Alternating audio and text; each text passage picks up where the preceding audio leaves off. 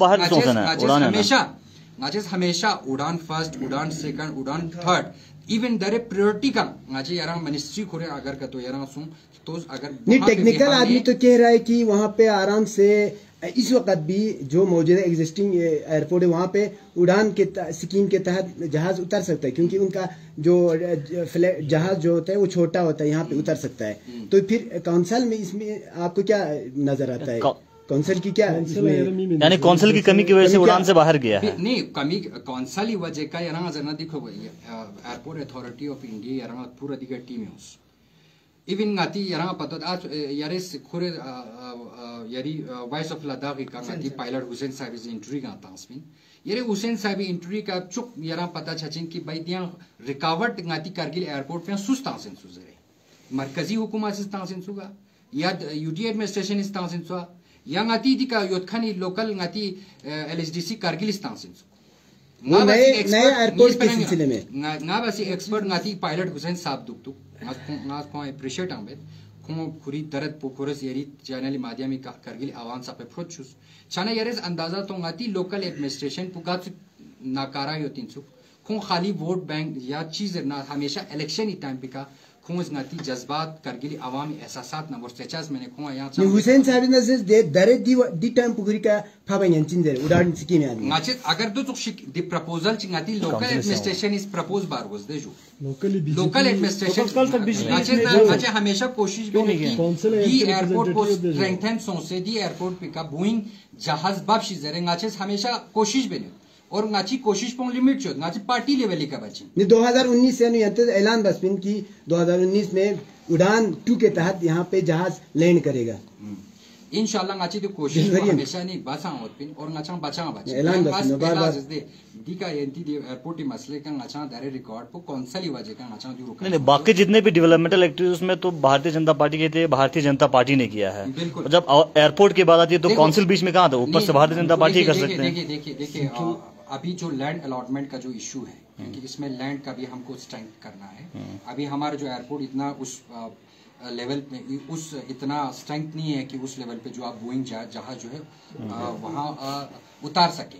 इसके लैंडिंग और take off में भी इनको टेक्निकली इनको प्रॉब्लम आ रहा है। तो इसीलिए इसको स्ट्रेंथ स्ट्रेंथ करने के लिए हमने लोकल एडमिनिस्ट्रेशन काउंसिल ने साथ काउंसिल से हमने ये रिक्वेस्ट किया था हमें लैंड और चाहिए। एयरपोर्ट अथॉरिटी को और भी लैंड चाहिए तो इसमें जो रिकॉर्ड जो है हमारा काउंसिल इसमें आ रहा है बीच में। तो उसके कारण जो है वो रुक गया है। और बाकी आपको डेवलपमेंटल इश्यूज़ है जो भी है। यहाँ पानी का आप लोगों को भी पता है कितना बहरान था। और खासकर अभी जो माइनस डिग्री में हम आज के सर्दी में पहले बिजली का एक बहुत बड़ा एक क्राइसिस होता था।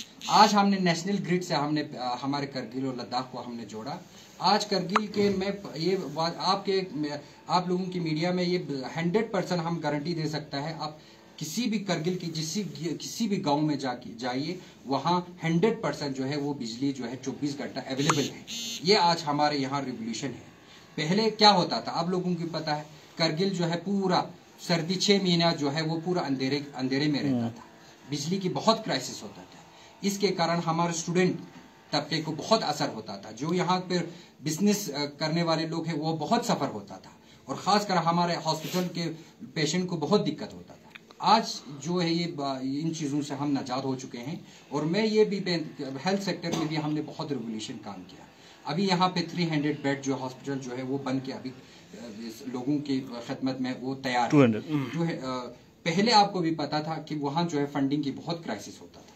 वहाँ वो जो इंफ्रास्ट्रक्चर सिर्फ़ एक या आपको पहले हुकूमत में जो है सिर्फ़ एक फाउंडेशन जो है वो बना के रखा था।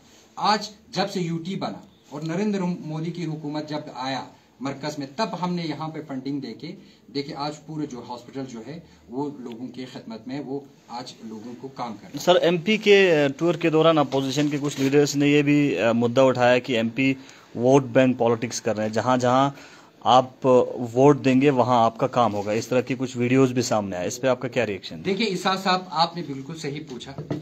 मैं उन लोगों को ये बताना चाहता हूँ ये उनका एक बौखलापन है।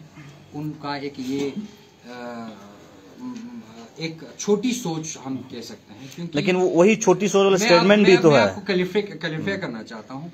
जहाँ पे पाँच वोट के जगह पे एक टैंकर की ज़िक्र कर रहा हाँ, है हाँ। उसी कंस्टिट्यूएंसी सिल्मू कंस्टिट्यूएंसी में। ये हमारे सीसी साहब बदकस्मती से वो हमारे सीसी साहब की कंस्टिट्युएंसी है। उसी कंस्टिट्युएंसी में एक ललुंग एक गाँव भी है।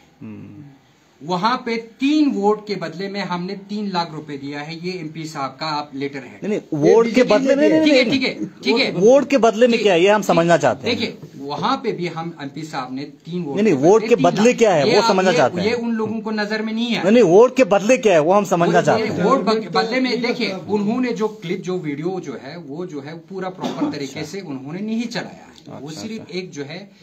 आधा क्लिप जो है उन्होंने प्ले किया है। तो उसी क्लिप के ऊपर हम ये क्या वो मज़ाक था? हैं, उन्होंने लोगों को बताया कि आप लोगों को अगर तीन आप लोगों को अगर टैंकर के मसला पानी की टैंकर चाहिए। तो हम कंसर्न डिपार्टमेंट को वहीं पे ऑन स्पॉट आप वहाँ के सरपंच को मेरे सामने बुलाइए।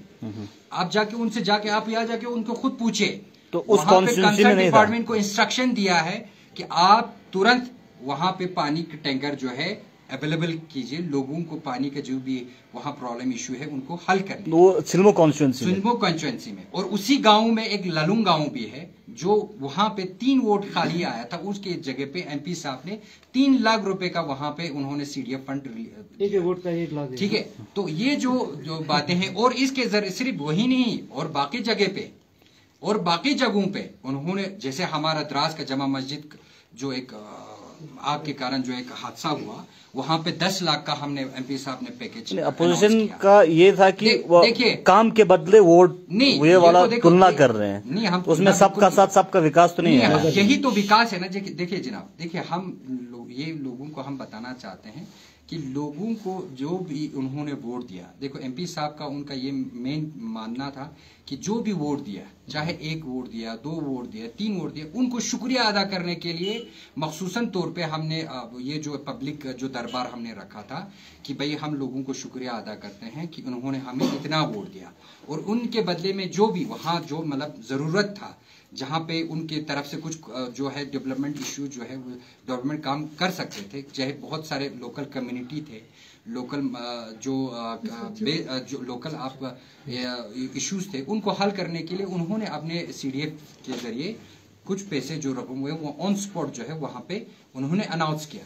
अब इस इश्यू को लेके इस मुद्दे को लेकर अपोजिशन और अपोजिशन ने नहीं बल्कि कुछ लोग चंद लोग जो है जिनका कोई कर, करगिल में उनको इम्पोर्टेंस नहीं मिलता है ना उनका कोई उनको कोई सीरियसली कोई सुनता है। तो उन लोगों को जो है ये ये जो चीज़ें हैं उनको अच्छा लगता है लेकिन हमें पता है देखिए आपको खुद पता है आज तक करगिल में माइनस ऐसी नवंबर नवंबर महीने में कोई भी एमपी जो है इस तरीके से हमारे फार फार इलाके में आपको मैं एग्जांपल बताऊँ संडो। जब हम संडो पहुँचे वहाँ के आवाम बोलते हैं पंद्रह साल तक, पंद्रह साल तक वहाँ कोई अपना जो लोकल जो है रिप्रेजेंटेटिव काउंसलर उस गाँव में नहीं पहुँचा है। उस गाँव में कभी कदम नहीं रखा। आप यकीन कर सकते हैं, पंद्रह साल तक उस गाँव में उसके लोकल उन्होंने उस काउंसलर को वोट भी दिया। उसको चुन के पंद्रह साल उनको वोट दिया, लेकिन एक बार जो है विज़िट नहीं किया।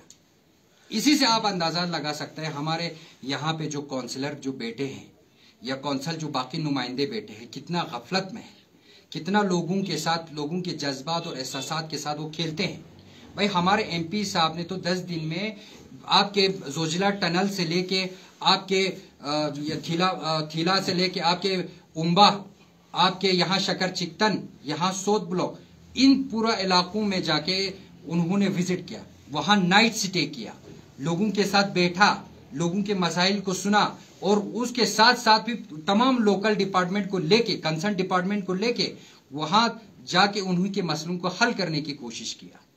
इस तरह तारीख करगिल की तारीख में पूरे खत्े लद्दाख की तारीख में कभी इस तरह के दौरा नहीं हुआ था। ये मानना चाहिए। ये लोग भी हम लोगों का जो एस्पिरेशन जब हम लोगों से जब मिले जब लोगों का जो वहाँ के लोगों के साथ जो हमने इंट्रैक्शन किया और उनमें वो जज्बात वो जुनून देखे हमें बहुत अच्छा लगा जिस तरीके से उन्होंने एमपी साहब का स्वागत किया हमें हम उन, उनके ऊपर फक्र करते हैं।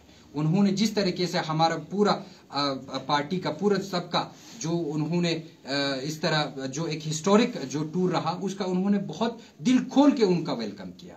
और साथ ही साथ में सिर्फ़ मरकजी हुकूमत का भी शुक्रिया अदा किया। जिस तरीके से जो पानी का मसला है जो बिजली का मसला है और भी इंफ्रास्ट्रक्चर का मसला है इनको हल करने के लिए आज तक उन्होंने जो डेवलपमेंट नहीं देखा जब से यूटी बना तब से जो है ये चीज़ें लोगों को आज ज़ाहिर हो रहा है। चाहे वो रोड कनेक्टिविटी की बात करें और भी इंफ्रास्ट्रक्चर की बात करें आज का जो ये हमारा जो एमपी साहब का दौरा था बहुत ही एक हिस्टोरिक दौरा था। थैंक यू बहुत बहुत शुक्रिया।